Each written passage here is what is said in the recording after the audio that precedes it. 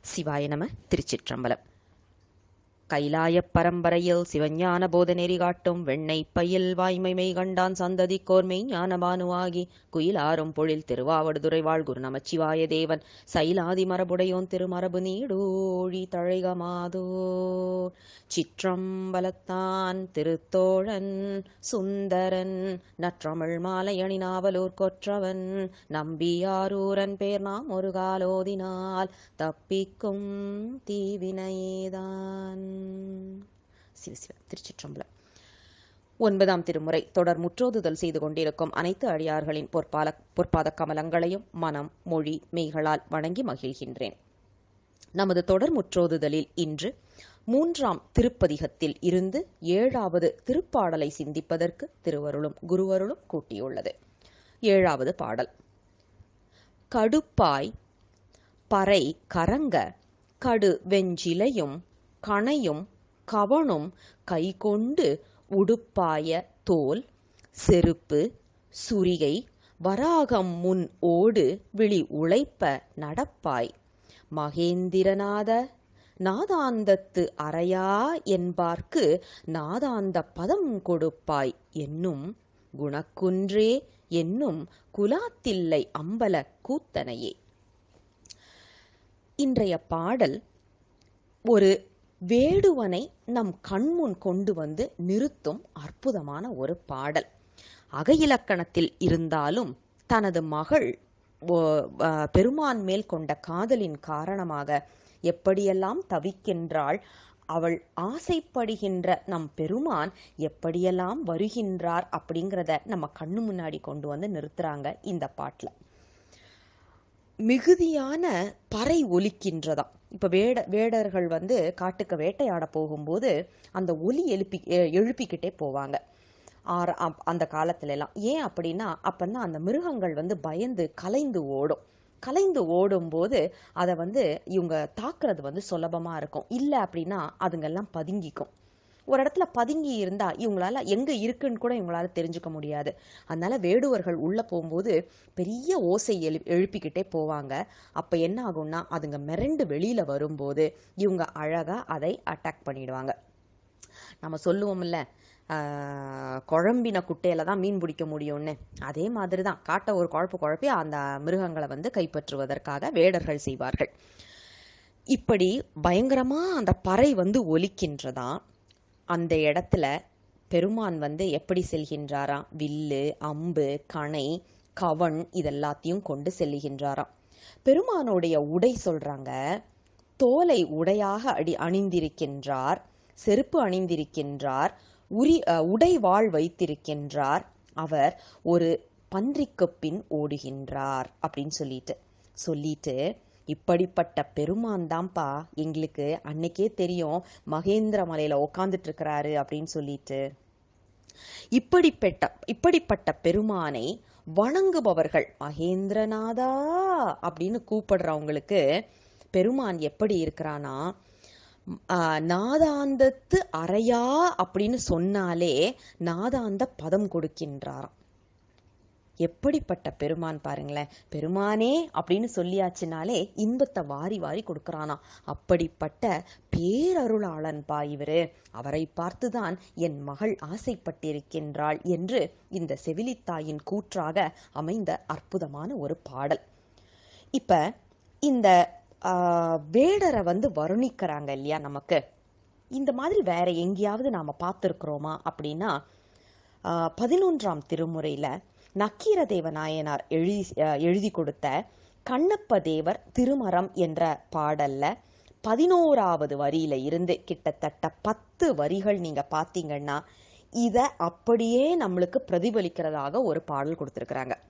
அதாவது பதினொன்றாம் திருமுறையில பாத்தீங்கன்னா வாலிய புலித்தோல் மறைப்ப வெள்வார் இரவும் பகலும் இகழா முயற்சியொடும் அடைத்த தேனும் வல் நாய் விட்டும் சிலைவிடு கணையிலும் திண் சுரி கையிலும் பல கிளை அவை அவையோடும் பதைப்ப படுத்து தொல்லுயிர் கொல்லும் தொழிலே வடி தொழிலே வடிவே.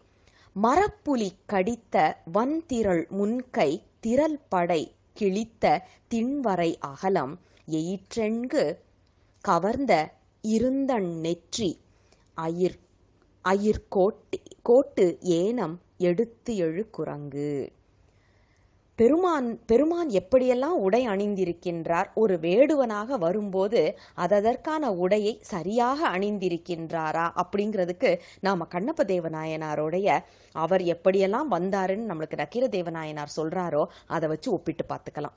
அப்படியே வார்த்தைக்கு வார்த்தை இருக்கு. கையில வந்து அந்த உ- உடைவாள் வைத்திருக்கின்றாராம் கவன் வைத்திருக்கின்றாராம் வில்லு அம்பு எல்லாம் இருக்குதான். கண்ணபதேவ நாயனாரும் செருப்பு போட்டிருக்கிறாராம். அவரும் வந்து அறையில வந்து புலித்தோலை கட்டி இருக்கிறாராம் அப்படியே நம்ம பெருமான் இவரை காப்பி அடிச்சிட்டாரு. காப்பி அடிச்சிட்டு அர்ஜுனனை வந்து அர்ஜுனனுக்கு அருள் செய்யறதுக்காக போய்கிட்டு இருக்கிறாரு. இப்படிப்பட்ட பெருமான் யாரு அப்படின்னா மகேந்திரநாத. இவரு தான் வந்து மகேந்திர மலையில இருக்கிற என்னுடைய நாதன் அப்படின்னு சொல்லிட்டு நாதாந்தத்து அறையா? அப்படின்னு சொல்லியாச்சுனாலே நாதாந்த பதம் கொடுக்கறாராம் அது என்னப்பா அது நாதாந்தம் அப்படின்னா நாத தத்துவம் கடந்தவன் அப்படிங்கிற பொருள். அதாவது சப்த பிரபஞ்சம் அர்த்த பிரபஞ்சம்னு சொல்லுவோம் இல்லையா? அதில் சப்த பிரபஞ்சத்தை குறிக்கின்ற ஒரு ஒரு வார்த்தை தான் இந்த நாதாந்தம் என்று சொல்லப்படுவது. நாத தத்துவம் கடந்து இருக்கின்றான் நம் பெருமான். அது மட்டுமான்னு பார்த்தீங்கன்னா இப்படிப்பட்டவனை நாம வாழ்த்த வாழ்த்த வாழ்த்த நமக்கு என்ன கிடைக்கும் அப்படின்னா நாதாந்த பதம் கிடைக்கும். நாதாந்த பதம்னா என்ன? சிவலோகம். இப்ப இந்த நாதாந்தம் அப்படின்னு சொல்றோமே இது என்ன அப்படின்னு பார்த்தீங்கன்னா திரு களிற்றுப்படியார் என்ற சித்தாந்த நூலில் எண்பதாவது பாடல்ல பார்த்தீங்கன்னா இந்த குறிப்பை நமக்கு ஆசிரியர் வைத்து அருள் செய்கின்றார்.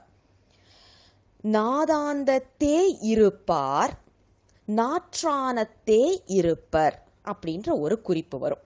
அதாவது நாதாந்தத்தில் இருக்கின்றார். நாத தத்துவம் கடன் கடந்து இருக்கின்றார். அவர் யாரு அப்படின்னா நால் தானத்தே இருப்பார். அது என்னப்பா? நான்காம் தானம் அப்படின்னா நான்காம் தானம் தான் திருவருள் என்று சொல்லப்படுவது. நின்மல துரிய நிலை என்று சொல்லப்படும் அந்த தானத்தை குறிப்பதுதான் இந்த நாற்றானத்து அப்படிங்கிற சொல் ஏழாம் திருமுறையில முப்பத்தி எட்டாவது பதிகத்துல நம்ம நம்பி ஆரூரர் இந்த குறிப்பை சொல்லியிருப்பாரு. நாற்றானத்து ஒருவனை நானாய பரனை அப்படின்னு சொல்லியிருப்பாரு.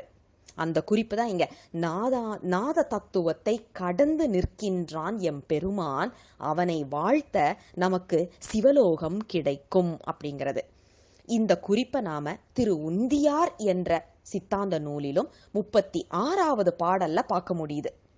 நாலாய பூதமும் நாதமும் ஒன்றிடின் நாலாம் நிலையாம் என்று உந்தீபர நாதற்கு இடம் அது என்று உந்தீபர. அதாவது சித்தாந்தம் எடுத்தாலும் சரி திருமுறைகள் எடுத்தாலும் சரி ஒரே விஷயத்தை தான் நமக்கு ஆணித்தரமா சொல்றாங்க. காரணம் என்னன்னா இது எல்லாமே நமக்கு பெருமான் அருளி செய்தது. அதனால இங்கேக்கோ இன்னொரு இடத்துக்கோ முரண்பாடுங்கிறத நாம பார்க்கவே முடியாது. எல்லாமே ஒரே குறிப் குறிப்பை தான் நமக்கு எடுத்து சொல்லுவதாக அமையும். ஏன் அப்படின்னா தனதுரை எனதுரை என்று நம்ம காழிப்பிள்ளையார் சொல்லிட்டாரு. அருளாளர்களின் வாக்கில் இருந்து பெருமானே நமக்கு இதையெல்லாம் உணர்த்துகின்றார். ஒவ்வொரு காலகட்டத்துக்கு ஏத்த மாதிரி நமக்கு அந்தந்த அருளாளரை வைத்து இதை சொல்றாரு.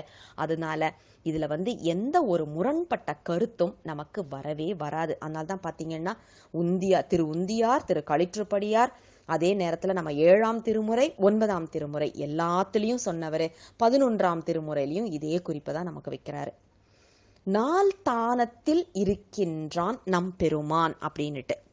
இப்படிப்பட்ட இப்படிப்பட்ட பெருமானை நாம வந்து பெருமானே பெருமானே அப்படின்னு வணங்கிக்கிட்டே இருக்கும்போது நமக்கு அவன் என்ன கொடுக்கின்றான் என்றால் நம் மனம் மொழி மெய் அனைத்தும் ஒடுங்கிய நிலையில் நமக்கு சிவலோக பதவியை தருகின்றான். சிவலோகம் என்று சொல்லுவது நமக்கு சித்தாந்தம். வேதாந்தம் முடிந்து நாதாந்தம் முடிந்து எங்க போகணும் அப்படின்னா ஒரு உயிர் சித்தாந்தத்துல தான் வந்து நிக்கணும். சித்தாந்தத்துல வந்து நின்னா மட்டும்தான் அது முக்தி நிலைய பத்தியே யோசிக்குது. ஏன்னா முப்பொருள் உண்மை என்று சொல்லுவது நம்ம சித்தாந்தத்தை சித்தாந்தத்தை தவிர வேற எங்கேயுமே நாம பார்க்க முடியாத ஒரு விஷயம். அப்படிப்பட்ட அற்புதமான ஒரு கருத்தை நமக்கு இந்த பாடலில் வைத்து அருள் செய்கின்றார். இதுல பாருங்க இந்த நாதாந்தத்தை கடந்து இருக்கின்றான் அப்படின்னு சொல்றதுக்குத்தானோ என்னமோ இந்த பாட்டில் பறை மிகுதியாக ஒலிக்கின்றது அப்படின்னு அந்த ஒலியை அங்கே கொண்டாந்து கொடுத்துட்டாரு நமக்கு.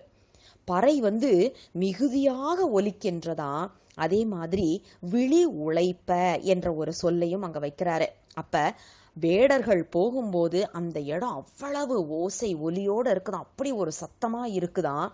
அந்த ஒச்சுக்கு நடுவுல நம்ம பெருமான் வந்துகிட்டு இருக்கிறாரு. ஆனா அவர் யார் தெரியுமா? நாத தத்துவத்தை கடந்தவன். நாத தத்துவத்தை கடந்தவன் நாதத்தை எழுப்பிக் கொண்டே வந்து கொண்டிருக்கின்றான் அப்படின்னு மிக அழகாக சொல்றாரு. என்ன குறிப்புன்னா நாம அனைவரும் தியான நிலையில் யோகத்தில் இருந்து தியான நிலைக்கு செல்லும் போது இப்படிப்பட்ட ஓசை ஒலியெல்லாம் நமக்கு கேட்கும். இது வந்து நமக்கு பத்தாம் திருமுறையில் ஏற்கனவே நாம் அதுக்கு எடுத்துக்காட்டு பாடல் பார்த்துருக்கிறோம். பத்தாம் திருமுறையில் நமக்கு மிக அழகாக எடுத்து சொல்லுகின்றார் யோகத்தில் இருக்கும்போது. அப்போ இந்த மாதிரி அதிக மிகுதியான ஓசை கேட்க கேட்க கேட்க அதுவும் அப்படியே அடங்கணும். அடங்கும் ஒரு நிலை வரும். அந்த நிலைதான் நாம பெருமானை அடைகின்றதற்கான வழி என்பதை நாம் உணர வேண்டும். அந்த ஓசையை நமக்கு நமக்குள்ளால எழுப்புறது யாரு அப்படின்னா அதுவும் பெருமான் தான். ஏன்னா நம்ம அந்த வழியில கூட்டிட்டு போறாரு. நாத தத்துவத்தை கடக்க வேண்டும் என்பதற்காக நம்மை அழைத்து செல்லுகின்றார் பெருமான். இது வந்து இந்த பாடலை வெறும் அகையிலக்கணமா பார்த்து விடக்கூடாது. ஒரு தலைவன் தலைவியாக பார்த்து ஒரு பெண் பெருமான் மேல் காதல் கொள்கின்றாள் என்று நாம் எடுக்கக்கூடாது. ஒரு உயிர் பெருமானை அடைவதற்காக யோக நிலையில் நிற்கும்போது அந்த யோக நிலையில் ஏற்படும் மாற்றங்களை நமக்கு அழகாக எடுத்து கூறும் பாடலாக மட்டுமே தான் இதை பார்க்க வேண்டும். அதனால தான் பார்த்தீங்கன்னா ஒவ்வொரு வார்த்தையும் அதில் வந்து யோகத்தை குறிக்கும் வார்த்தையாகவே நமக்கு அருள் அருளி செய்திருக்கின்றார்கள். இது அனைத்துமே பெருமான் நம்மை சரியான வழியில் கொண்டு செல்லுவதற்காக கொடுத்திருக்கின்றார். இதை சரியான விதத்தில் நாம் புரிந்து கொள்ள வேண்டும் என்ற விண்ணப்பத்தை பெருமானின் திருவடியில தான் நாம் வைக்கணும். ஏன்னா இது வந்து ரொம்ப ஆழமானது.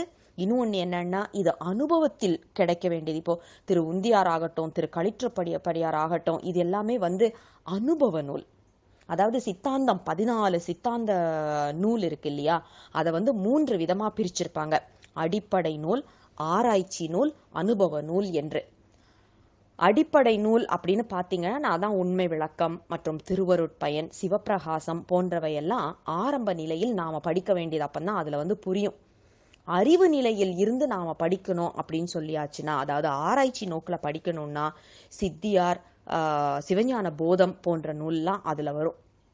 ஆனால் திரு உந்தியார் திரு களிற்றுப்படியார் என்பது அனுபவத்தில் மட்டுமே கிடைக்கணும். ஆக நாம என்ன வேண்டிக்கணும் பெருமான் கிட்டேன்னா சரியான அனுபவத்தை எனக்கு கொடு என்று நாம வேண்டிக்கணும். இன்னைக்குள்ள நிலையில நமக்கு ஆணவத்தின் மிகுதியால என்ன பண்றோம்? எனக்கு எனக்கு புரிஞ்சுக்கிறது தான் சரி அப்படின்ற ஒரு இதுல அதுக்கு மேல நாம போறதுக்கு கூட எத்தனிக்கிறது இல்லை பெருமானிடம் சரணடைந்து சாமி சரியான விதத்தில் எனக்கு இதை புரிய வைப்பதற்கு உனது திருவருள் வேண்டும் என்று அவரது திருவடிகளில் விண்ணப்பத்தை வைத்து இந்த பாடலை நிறைவுக்கு கொண்டு வருவோம். தென்னாடுடைய சிவனே போற்றி என் நாட்டவர்க்கும் இறைவா போற்றி. சிவசிவ திருச்சிற்றம்பலம்.